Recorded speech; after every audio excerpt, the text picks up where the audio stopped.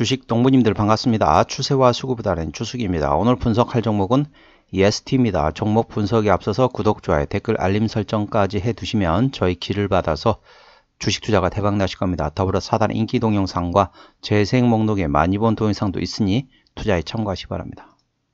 네, EST. 주가가 한번 움직일 때 강하게 좀 상승하고 또 빠질 때는 또 바로 빠집니다. 그렇기 때문에 이런 종목 같은 경우는 멀리 길게 투자하시는 분보다는 좀 짧게 짧게 trading 하시는 분한테 적합한 종목이라고 보시면 되겠습니다. 동사 최근에 나왔던 이슈를 말씀드리겠습니다. 먼저 일단은 오늘 5월 21일 날 나왔던 이슈인데요. 최대주 콜옵션 지정, 재무구조 개선 및 책임 경영 강화로 성장 지속이 예상되고 있다. 이런 모멘텀이 있고요. 이제 두 번째 모멘텀 같은 경우는 3월 4일 나왔던 HBM 성능 핵심 장비 국내 유일의 엔비디아 핵심 파트너사로 러브콜을 받고 있다. 이런 모멘트가 됐습니다. 그러니까 일단은 5월 21일 오늘 나왔던 이슈 같은 경우는 최대주 관련된 콜옵션 지정했다. 그 말은 무슨 말이냐면은 향후에 이 동사의 최대주가 지분을 더 늘릴 가능 늘릴 에, 생각을 가지고 있다 그런 의미가 되겠습니다. 그러다 보니까 재무구조 개선과 책임 경영 강화로서 현재 에, 모멘텀이 되고 있다 이렇게 보시면 되겠고 이제 HBM 관련된 모멘텀 말씀드렸습니다.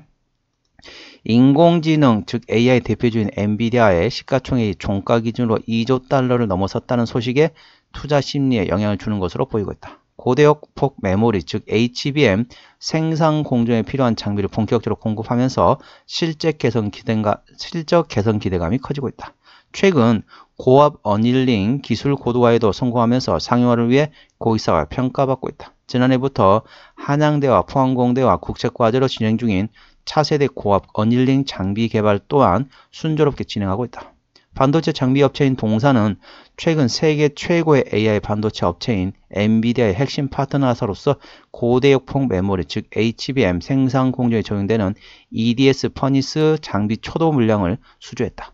이번 수주로 동사는 기존에 공급 중인 바, 어, 글로벌 반도체 기업에 이어 HBM용 장비에 대한 거래처 다변화에 성공했다. 동사의 관계자는 지난해 4분기 수주한 글로벌 반도체 기업향 웨이퍼 가압 설비와 EDS chiller 등 HBM용 주요 장비들의 납품이 순조롭게 진행되고 있다. 기존 거래처의 HBM 투자 확대로 올해도 HBM 장비에 대한 추가 수주가 이어질 것으로 말해, 전망되고 있다. 동사는 지난해 HBM 장비를 중심으로 역대 최대 반도체 장비 수성가를 올리며 본원 사업이 흑자 전환 가운데 고압 어닐링 기술 고도화에도 성공해 반도체 장비 부문의 사업 확대가 가속화될 전망이다. 그러니까 이제 이 반도체 업황 같은 경우는 전반적으로 제가 항상 말씀드리겠죠. 우리 주식 농부님들 제 방송을 몇 번만 들으신 분들은 그러실 거예요. 야, 또 반도체 얘기냐? 그렇게 말씀하실 거예요. 반도체 같은 경우는 좀더 기본적 분석해 보시면 아시겠지만은 반도체 업황 같은 경우는 작년보다 올해, 올해보다 내년, 내년보다 내후년도. 그래서 올해부터 실적이 짧으면 3년, 길면 5에서 6년 동안 호황기가 예상되고 있습니다. 그렇기 때문에 어떤 종목이더라도 반도체 종목들은 한 종목 정도는 포트폴리오 가지고 멀리 보고 투자하시는 분은 투자하신 게 적합하다고 보시면 되겠습니다. 다른 종목은 예를 뭐 trading 하셔도 되는지만 조금 이제 장, 에, 반도체 관련된 종목들은 먼저 이렇게 에, 투자를 이제 좀 멀리 보고 투자하시면 되겠고 반대체제는 그렇게 보시면 되겠습니다. 먼저 첫 번째 뭐냐면 장비를 먼저 사야 됩니다. 장비주. 장비주가 먼저 움직이고 나중에 에, 그다음에 소 소재하고 부품 소재 부품은 그 다음이라고 보시면 되겠습니다. 왜냐면은 장비 같은 경우는 고가잖아요. 그리고 장비를 한 번에 들이면은 그것도 몇 년 동안 수주가 없을 수 있습니다. 그렇기 때문에 한 번에 몽땅 수주를 받고 또 몇 년 동안은 또 이렇게 손가락을 빨고 어, 벌어놨던 걸 쓰는 거죠. 어, 그러면서 기술 개발도 하고 그런 상황이라고 보시는가 한꺼번에 실적을 크게 벌었다가 또 한동안 또 쉬고 한동안 또 기, 한동안 또 이렇게 급하게 또 돈을 벌었다가 이런 식으로 하다 보니까 장비주가 먼저 움직입니다. 장비주가 먼저 움직이고 그 다음에 그 장비주를 트레이딩했던 수급들이 장비주에서 이제 쉽게 말하면 에, 껌에 단물이 다 빠졌다 싶으면 그때는 이제 소재하고 부품적으로 그 수급들이 움직인다는 거죠. 그렇기 때문에 우리 주식 농부님도 그거 알고 계셔야 됩니다. 일단 장비주에 먼저 들어가셨다가 나중에 장비주에서 어느 정도 사람들의 이제 약간 음 뭐라고 해야 될까요? 생각이 조금 떠난다 싶으면은 그 수급이 곧바로 바로 소재하고 부품으로 움직이기 때문에 이 점 알고 투자하시 기 바랍니다. 동사는 이제 반도체 장비주가 되겠습니다. 자, 7, 에, 종사의 주가 위치 보시도록 하겠습니다. 자, ST 오늘 7.22% 상승하면서 19,910원에 마감했습니다. 예, 동사 보시게 되면은 이 동사에 좀 강하게 지금 현재 추세선 한번 그려볼게요. 어떤 추세선인지. 자, 저점과 저점을 딱 연결했습니다. 보이시죠? 자, 고점과 고점을 딱 연결했습니다. 자, 우리 주식 농부님들 제 어, 채널을 유튜브 보신 분들은 다들 이제 어느 정도 무슨 말을 할지 아시겠죠? 네, 현재 동사 어떻습니까? 삼각 수렴이 됐습니다. 삼각 수렴을 위로 오늘 돌파했다는 거죠. 자, 아시죠?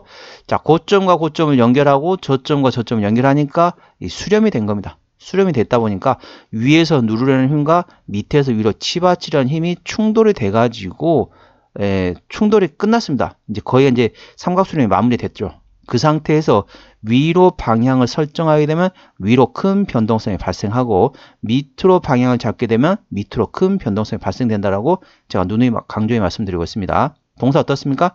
자, 삼각 수렴이 형성된 상태에서 마무리된 상태에서 위로 방향을 잡았습니다. 그럼 어떻게 된다? 위로 변동성이 커질 수 있다는 거죠. 그렇기 때문에 이 종목에 대해서 관심 있으신 분들은 자 일단은 오늘은 이제 7.2% 장대 양봉이 나왔기 때문에 여기서 눌림목과 나오더만 그거는 활용하셔가지고 대응하는 방법이 되겠습니다. 대략적으로 매물대는 18,500원에서 17,000원 구간까지 있기 때문에 여기를 지지받는지 A 주시기 바랍니다. 투자 참고하시기 바랍니다. 현재 주가에서 저항대와 지지대 말씀드렸습니다. 오늘 19,910원인데요. 뭐 1차 저항대 같은 경우는 2만 원이 되겠고요. 2차 저항 때는 2만 원 좀 짧네요. 어, 19,910원인데 95만 오르면 2만 원인데 2만 원 좀 저항 때는 좀 작게 너무 짧고 1차 저항 때를 2만 3천 원, 2차 저항 때 2만 6천 원 되겠습니다. 2만 6천 원부터는 투자자의 심리가 흔들리는 구간이기 때문에 5일선 대응하시면 되겠고요. 1차 지지대 같은 경우는 18,000원, 2차 지지대 15,000원, 3차 지지대는 13,000원 구간이 있다는 걸 투자에 참고하시기 바랍니다. 수급대응 보시겠습니다. 외국인 한 달 동안 14만 6천 주를 샀습니다. 예, 최근에 보면은 외국인 같은 경우는 전반적으로 순 매수 기조라고 보시면 되겠습니다. 기관 한달 동안 84만 8천 주를 팔았는데 최근에 순 매도하고 있습니다. 금투 최근에 팔고 있고요. 그 다음에 투신은 trading, 연기금은 팔다가 관망, 사모펀드 최근에 팔고 있습니다. 참고적으로 동사 같은 경우는 기관이 handle하고 있습니다. 기관이 handling하고 있기 때문에 일단 투신이 현재 trading하고 있는데 트레, 에, 투신이 순 매수로 들어서는지 그리고 금투하고 사모펀드 최근에 팔고 있거든요. 파는 수급이 에, 샀다 팔았다 trading 또는 순 매수로 전환되는지 예의 주시 하시기 바랍니다. 지금 기관이 계속 팔고 있기 때문에 주가가 올라가는데 발목을 잡고 있다 보시면 되겠습니다. 그 말은 무슨 말이냐? 기관이 순 매수를 또는 샀다 팔았다 trading으로 전환되게 되면 주가는 급하게 상승할 수 있다. 그 점 투자에 참고하시면 그 쉽게 말하면 그렇죠. 자 발목에 모래 에, 모래주머니 차고 있다 보시면 되겠습니다. 그러다가 모래주머니 딱 떼면 어쩌죠? 발걸음 엄청 가볍잖아요. 그런 것처럼 현재는 동사의 기관들이 현재 동사를 발목을 잡고 있는 상태인데 그 발목을 잡고 있는 걸 놓는다. 그러면 가벼운 발걸음으로 깡총깡총 뛸 수 있다. 그 점 투자에 참고하시기 바랍니다. 동사는 기관이 핸들링하고 있습니다. 시험비를 보시도록 하겠습니다. 1.44%이 정도면 좋습니다. 3%까지는 양호하다, 안정적이다 라고 말씀드렸죠. 동사의 최대 주주 지분율 보시겠습니다. 최대 주주 지분율, 지분율을 보는 이유는 바로 책임 경영 확인 차원이 됐습니다. 동사의 최대주는 24.8% 지분율을 가지고 있습니다. 자, 아까 제가 5월 20일 오늘 나왔던 이슈를 말씀드렸습니다. 최대주주가 콜옵션 지정했다. 그래서 재무적 개선 및 책임 경영 강화로 성장성이 지속될 것으로 전망되고 있다. 그래 되겠습니다. 자, 항상 말씀드리겠습니다. 에, 중성주 같은 경우는 최대 지분율이 30%는 돼야만이 책임져야 한다는 말씀드렸습니다. 여기 5월 20일 어, 증권사에서 나왔던 내용도 똑같은 내용입니다. 책임 경영을 강화한다라고 했습니다. 그래서 최대주 지분율이 올라가게 되면은 뭐 30%가 갈지는 모르겠지만은 향후에 책임 경영에 대한 전반적으로 괜찮을 거다. 그렇게 보시면 되겠습니다. 콜옵션에 대한 최대 지분, 최대 주주가 콜옵션을 지정했다는 것도 투자에 참고하시기 바랍니다. 자, 실적 보시도록 하겠습니다. 매출액 같은 경우는 작년에 760억 원대에서 올해 에, 재작년에 760억 원대에서 작년에 798억 증가했고 영업이익은 계속 적자이긴 하지만은 재작년 대비 작년에 적자폭이 상당히 많이 감소했습니다. 단기 수익도 적자 수준이네요. 자, 작년 분기별로 보시도록 하겠습니다. 1분기에는 영업이익 12억 원 적자, 2분기에 7억 원 적자, 3분기에 5억 원 흑자 들어난 4분기에 9억 원 흑자란 겁니다. 전반적으로 현재 이 컨센서스 안 나와 있긴 하지만은 자 영업이익 기준으로 보시게 되면은 제가 올해 예상컨대는 흑자 전환이 전망되고 있습니다. 특히나 중요한 거는 자 상반기보다는 하반기 즉 3분기부터는 실적이 흑자 전환이 된 건 거의 확실하다. 그렇게 보시면 되겠습니다. 투자 참고하시기 바랍니다. 부채비율 같은 경우는 170% 유보율은 760%대이기 때문에 재무적으로는 일반적인 재무 상태라고 보시면 됐습니다. 제가 항상 말씀드리겠습니다. 자, 작년 대비 올해, 올해 대비 내년, 내년 대비 내후년도에 반도체 업황의 실적은 상당히 좋아질 거 예상되고 있습니다. 작년에 적자에서 올해 흑자 도난 내년, 내후년 실적은 점점 좋아질 것으로 예상되고 있다는 걸 투자에 참고하시기 바랍니다.